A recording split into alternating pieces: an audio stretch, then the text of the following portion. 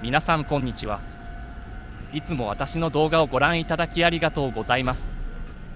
大阪府八尾市にある近鉄大阪線及び市議線の河内山本駅に来ています。高安駅に隣接する高安車庫で行われる近鉄鉄道祭りに参加してその光景を皆さんにお伝えします。どうぞご覧ください。ちょうど大和朝倉駅の普通電車が到着しました。この電車に乗車して次の高安駅に向かいます。河内山本駅は島式ホーム2面及び単式ホーム1面による3面5線の地上駅で橋上駅舎を有します。南北双方に出入り口があり改札口は1箇所のみです。大阪線ホームは2番線と3番線の内側2線が主本線であり1番線と4番線の外側2線が対比線になります。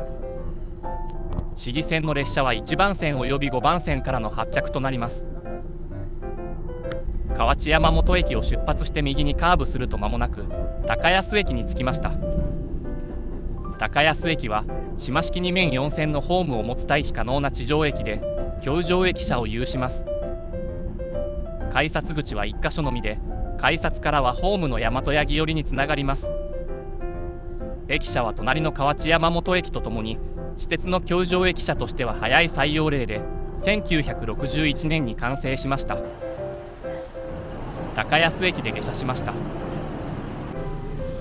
この高安駅に隣接する高安車庫では近鉄鉄道祭り2024が2024年10月19日の土曜日および20日の日曜日の2日間開催されます。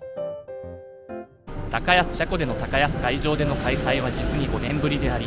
奈良県柏市にある五移動研修車庫での五移動会場とともに今年は2会場での開催となります。乗車してきた大和朝倉駅の普通電車を見送ります。暑さが幾分和らいだ10月には各鉄道会社が鉄道祭りと銘打ってイベントを開催します。近鉄の鉄道祭りに参加するのは今回が初めてなのでどのようなイベントなのかとても楽しみです。橋上駅舎の通路を渡り上本町方面のホームに移動しました。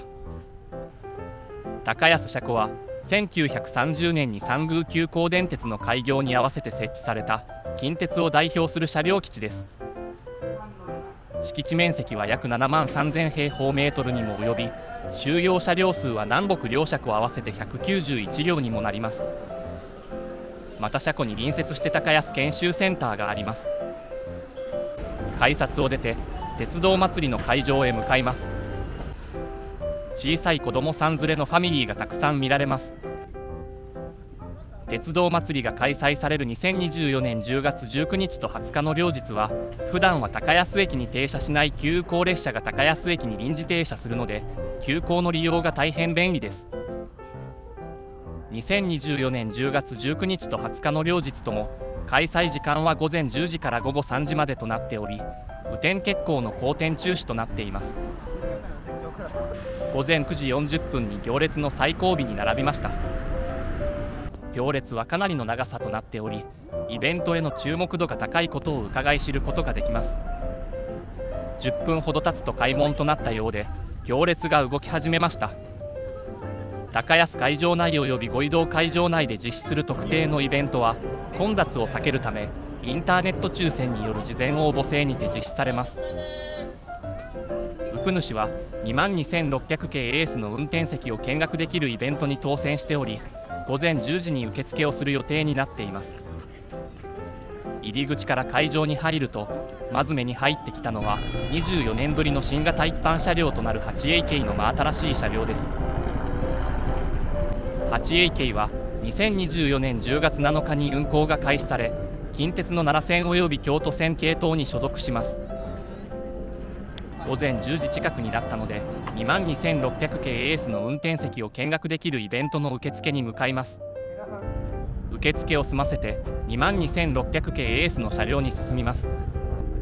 2009年にデビューした2万2600系エースは翌年の2010年に鉄道友の会が選定するローレル賞を受賞しました。車両にはそのヘッドマークが付けられています。順番が来たので運転席を見学します。シンプルなマスコンなど洗練されたデザインがとても印象的です。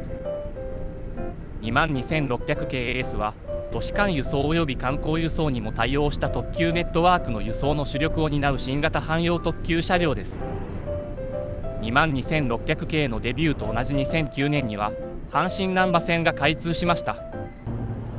近鉄と阪神のレールがつながり相互乗り入れが開始され夢に見た近鉄特急が阪神線に乗り入れました。それを現実にしたのがこの2万2600系です。団体臨時列車とはいえ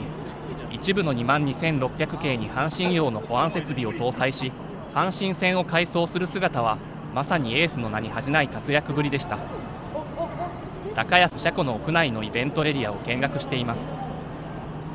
近鉄電車の行き先字幕が展示されています。インターネット抽選で当選した子どもたちが運転シミュレーター体験に熱中しています。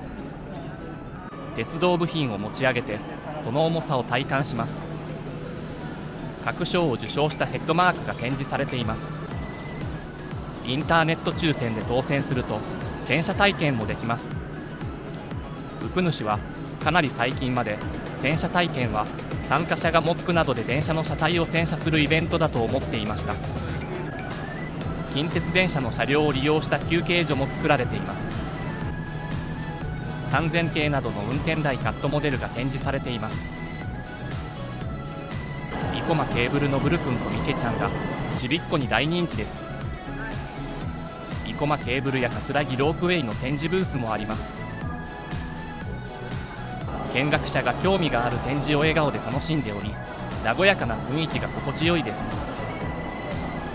布施プロレスによる興行も行われるようです鉄道関連グッズの販売ブースがいくつか設営されていますただ人気があり長い行列ができているブースとそうでないブースとがあり格差が生じています軽食や駅弁などの飲食ブースのエリアに進みます。近鉄グループの中核企業の近鉄リテーリングによる駅弁ブースが人気です。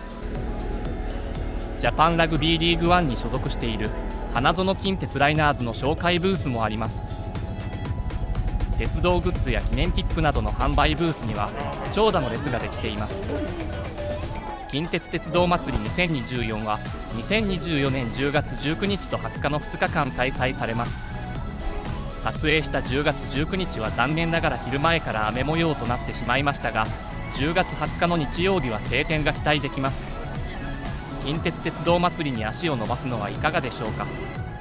高安車庫で行われる近鉄鉄道祭りに参加してその光景を皆さんにお伝えしました。最後まで動画をご覧いただきありがとうございます。またお会いしましょう。